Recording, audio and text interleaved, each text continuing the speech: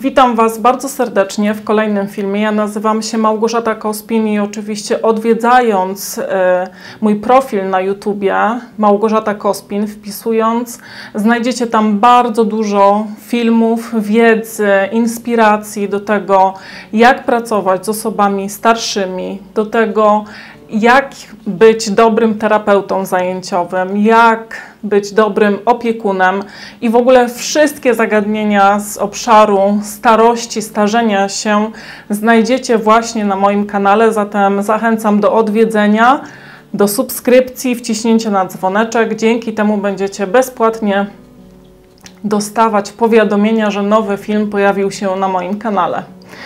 Dzisiaj chciałabym Wam trochę opowiedzieć o sile ciszy. I dzisiejszy film nazwałam właśnie Siła ciszy. Zapraszam do oglądania.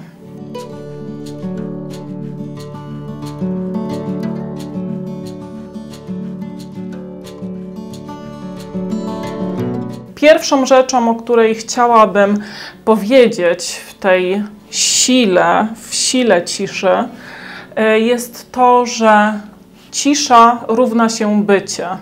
E, to jest takie równanie, które bardzo dobrze e, pokazuje właśnie, jaką siłę ma cisza.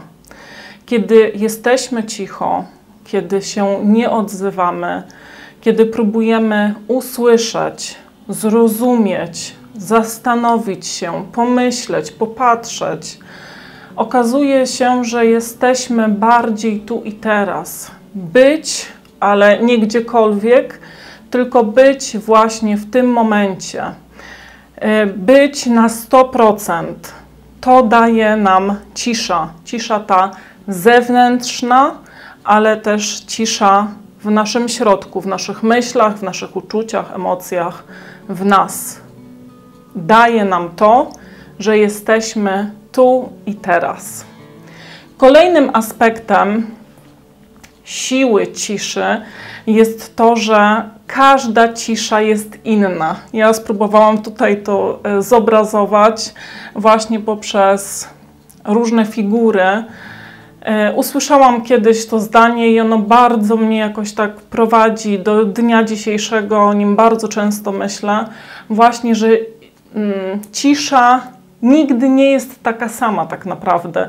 Nie ma takich samych dwóch momentów, w których możemy powiedzieć: O, to jest właśnie dokładnie ta sama cisza, która była wczoraj. Nie ma tak. Każda cisza jest inna. Każda cisza daje coś innego. Każda cisza rozwija inny element. Przy każdej ciszy czujemy się inaczej. Każda cisza jest inna, ale właśnie to jest jej siła to jest siła ciszy. I trzeci element, właśnie patrzenia na ciszę jako na coś silnego, to jest to, że my ciszę możemy dawać. To, że często bardzo dużo chcemy powiedzieć, bardzo dużo chcemy zakomunikować, wytłumaczyć, wyjaśnić, wyprostować, powiedzieć, to wszystko jasne, świetnie, dobrze, że robimy. I to jest element naszej komunikacji, zatem to jest naprawdę bardzo wartościowe. Ale tak bardzo mało słyszę, no właśnie, ciszę w naszych komunikatach. W tym, kiedy rozmawiamy ze sobą, tak naprawdę jeden przez drugiego chcemy mamy już w głowie jakiś argument, żeby tej drugiej osobie odpowiedzieć, i tak naprawdę e, słuchając drugiej osoby, to my myślimy o sobie, żeby opowiedzieć swoją historię, bo ta nasza historia to jest naprawdę fajna, a tej drugiej osoby to jest taka trochę gorsza. I tak naprawdę ciągle gdzieś żyjemy w tym hałasie, a siłę ciszy poznajemy po tym, że ciszę mogę dać. Mogę dać Tobie. Mogę Tobie pozwolić się wygadać. Mogę Tobie pozwolić mieć rację. Mogę Tobie pozwolić, mm, żebyś miał przestrzeń do tego, żeby opowiedzieć o swoich historiach, smutkach, zmaganiach, problemach, radościach, trudnościach. No właśnie, w tym jest siła. Siła ciszy polega na tym, że ja mogę tą ciszę dać Tobie. Wszystko zależy ode mnie.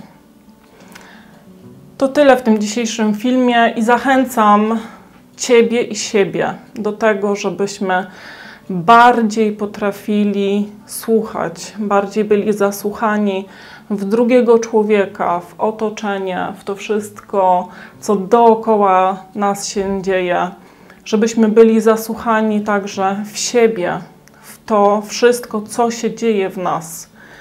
Siła ciszy jest ogromna. Nie tylko dzięki temu, że jesteśmy cicho, y, sprawiamy, że nasza pamięć, koncentracja, uważność, uwaga, bycie tu i teraz się poprawia, to także dzięki temu znajdujemy siebie. To jest mm, taki element, o którym warto pamiętać. Dzięki temu, że jest cisza, to my możemy zobaczyć, kim tak naprawdę my jesteśmy. My często uciekamy, bo nie chcemy tego widzieć, ale właśnie cisza nam to daje. Kiedy chcesz poznać siebie, najlepszą metodą jest, by być cicho, a cisza pokaże ci, kim tak naprawdę jesteś. To tyle w tym dzisiejszym filmie. Jeżeli Ci się podobał, to oczywiście zapraszam do kciuka w górę. E, zapraszam Cię także do subskrypcji, wciśnięcia na dzwoneczek i dania komentarza, jak Ty sobie radzisz z ciszą. Czy lubisz ciszę, czy jej nie lubisz, jak to u Ciebie wygląda. Zachęcam Was, żebyście także w placówkach pomocowych praktykowali właśnie takie momenty ciszy. Bardzo do tego zachęcam, głównie pracując z osobami na przykład chorymi na Alzheimera.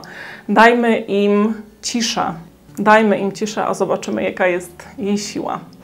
E, zapraszam właśnie do ciszy i do uśmiechu w tym dzisiejszym filmie, bo uśmiech to sposób na młodość, radość, na lepsze życie.